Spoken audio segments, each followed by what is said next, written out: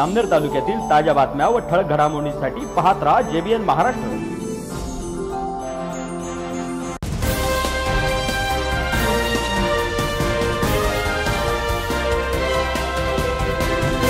नमस्कार मी विनोद चौधरी. पाहूया काही ठळक वृत्त.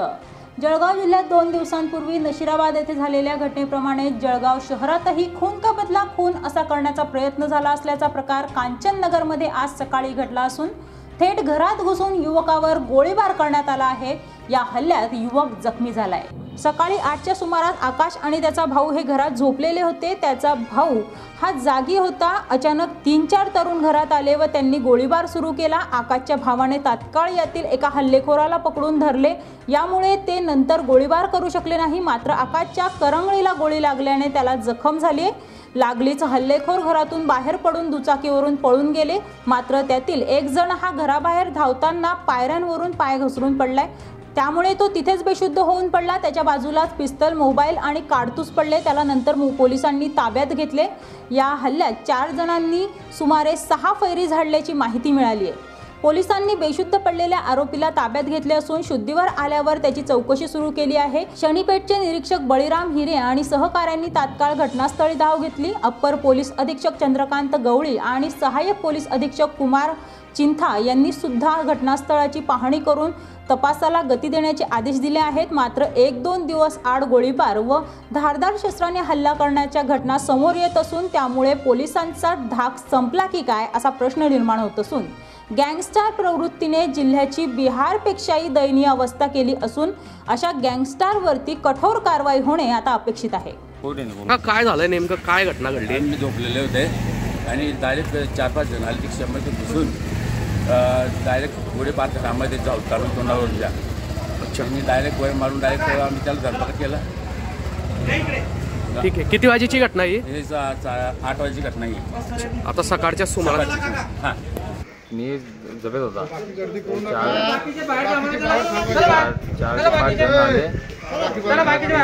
घुसले आणि डायरेक्ट ते त्यांनी इतके आलो नाही येणे मागे जवळ जवळ आणि कल्लो केला मा भाऊने मग पण मागून ताणलं बरं ते गोळी भिताला घुसले त्यानंतर मी उठला त्याने अजून एक झाली आणि तो बाहेर पडला बाहेर पडता तो खाली पडला डोक्याला लागला आणि तो मग त्याच्याबरोबर सगळे पै गेले किती वाजता झाला तो हे झाला झाला ओ, आठ साडेआठ किती गोळ्या? किती गोळ्या फायर केल्या चार गोळ्या बाहेर गेल्या कुठे लागले तुम्हाला?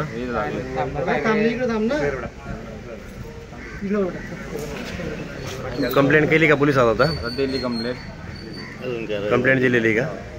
बरं आणि कशामुळे झाला हल्ला? काही सांगता येईल का? हे काही तेवढं काय अंदाज नाही. मी झोपलेत होता. मला काहीच माहिती कोण कोण केला काही माहिती तुम्हाला? हा विक्की आलोने हां. मिलिंद सकट हां. बाबू सपकाडे. हां. आणि एक ती तिसरा तोंडीत बघितलं नाही. हे चौथ्याचं. आणखी कोणाला लागलेलं आहे का आपल्या घरामध्ये? नाही हे याला लागलेलं माझ्या भाऊला हाता हाताला भाऊ. मिलिंद. शनीपेठ पोलीस स्टेशनच्या हद्दीमध्ये कांचननगर या एरियामध्ये आकाश सपकाळे हे सपकाळे कुटुंब इथे राहतं.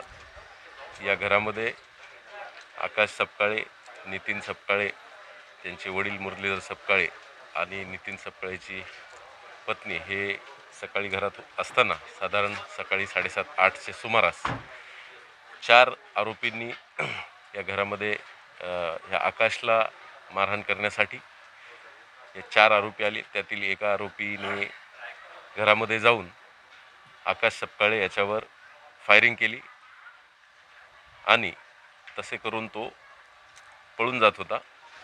तेव्हा इतर तीन आरोपीसुद्धा दिसून आलेले आहेत. आणि घटनास्थळी एक पिस्टल काही राऊंड्स तसेच एक मोबाईल आणि रक्त सांडलेलं दिसत आहे.